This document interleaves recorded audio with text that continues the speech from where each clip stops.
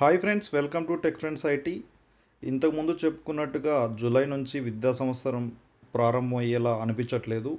సెప్ September నుంచి విద్యా సంవత్సరం ప్రారంభమయ్యే అవకాశం ఉంది. కరోనా వైరస్ లాక్డౌన్ మరియు సంబంధిత అనిశ్చితుల కారణంగా ఈ ఏడాది అనేక మార్పులు చే చోటు చేసుకోబోతున్నాయి. ఇందులో విద్యా సంవత్సరం కూడా ఉంది.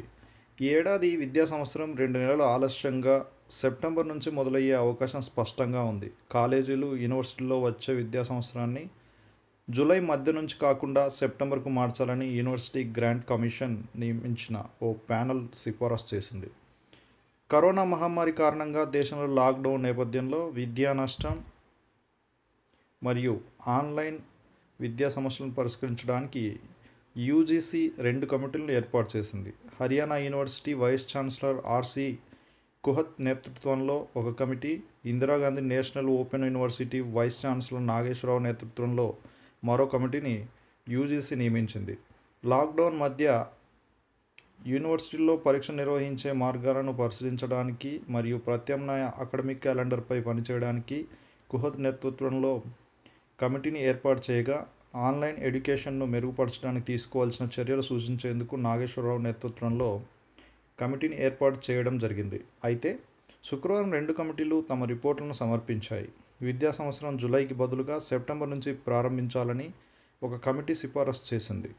మౌలిక సదుపాయాలు మరియు మార్గాలు ఉంటే కనుక యూనివర్సిటీలు ఆన్లైన్ ఎగ్జామ్లు నిర్వహించాలని లేదా లాక్డౌన్ ముగిసే వరకు వేచి ఉండి ఆపై పరీక్షల తేదీలను నిర్ణయించడానికి రెండో కమిటీ సిఫారసు చేసినట్లు విశ్వసనీయ వర్గాలు తెలిపాయి. హెచ్ఆర్డి మంత్రిత్వ శాఖ అధికారులు తెలిపిన వివరాల ప్రకారం ఈ రెండు రిపోర్ట్లు ఇప్పుడు స్టడీ చేయబడతాయి మరియు దీనికి సంబంధించిన అధికారిక మార్గదర్శకాలను వచ్చే వారం నాటికి తెలియజేయవచ్చు. అన్ని సిఫార్సులు అంగీకరించబడతాయనే నిబంధన ఏమీ లేదు. సాధ్యాసాధ్యాల సమస్యలపై చర్చించి పరిస్థితిని దృష్టిలో ఉంచుకున్న తర్వాత మార్గదర్శకాలు జారీ చేయబడతాయి. అకాడమిక్ సెషన్ ప్రారంభంలో మరో అడ్డంకి ఎంట్రన్స్ ఎగ్జామ్స్ నిర్వహణ. అదేవిధంగా పెండింగ్ బోర్డ్ ఎగ్జామ్స్ నిర్వహణలో ఆలస్యమని కమిటీ ఎత్తి చూపింది.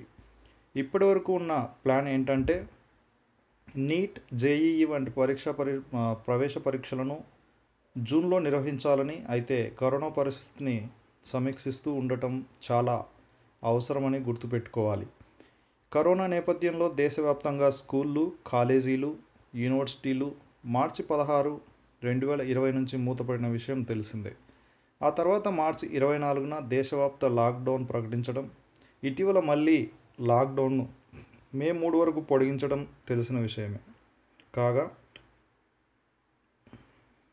ప్రమోషన్ మరియు అండర్ గ్రాడ్యుయేట్ అడ్మిషన్స్కి అతి ముఖ్యమైన ఇరవై తొమ్మిది సబ్జెక్టులకు మాత్రమే పెండింగ్ బోర్డ్ ఎగ్జామ్స్ను నిర్వహించనున్నట్లు central board of secondary education ఇప్పటికే ప్రకటించిన విషయం తెలిసిందే.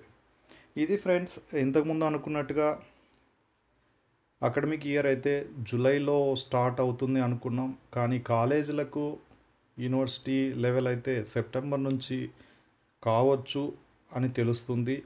కానీ వీళ్ళు ఇచ్చిన నివేదిక సక్సెస్ కావచ్చు లేకపోతే వాళ్ళు పెండింగ్లో పెట్టచ్చు. బట్ ఏంటంటే ఇదొక వాళ్ళు కమిటీ చేసినటువంటి సర్వేలో తేలింది మాత్రమే. కానీ ఇది కన్ఫర్మ్ అయితే కాదు. స్కూళ్ళకైతే చెప్పలేము. స్కూళ్ళు మేబీ ఆగస్ట్ నుంచి స్టార్ట్ కావచ్చు సెప్టెంబర్ కావచ్చు. కానీ దీనిపైన ఒక క్లారిటీ అనేది అయితే లేదు. బట్ జూలైలో అవ్వచ్చు కాకపోవచ్చు. ఇది ఫ్రెండ్స్ ఇవాళ news on academic year. Thank you friends. ఈ వీడియో మీకు నచ్చినట్టయితే లైక్ చేయండి. ఇప్పటివరకు నా ఛానల్ సబ్స్క్రైబ్ చేసుకోకపోతే సబ్స్క్రైబ్ చేసుకోండి. రైట్ సైడ్లో రెడ్ కలర్లో సబ్స్క్రైబ్ బటన్ ఉంటుంది. అక్కడ క్లిక్ చేసుకోండి. దాని పక్కనే ఉన్న బెల్ ఐకాన్ క్లిక్ చేయడం ద్వారా మీకు ఎప్పటికప్పుడు నేను వీడియోలు చేసినప్పుడు మీకు ఒక నోటిఫికేషన్ అనేది రావడం జరుగుతుంది. Okay friends thank you watching my video. Bye bye. See you. జై హింద్.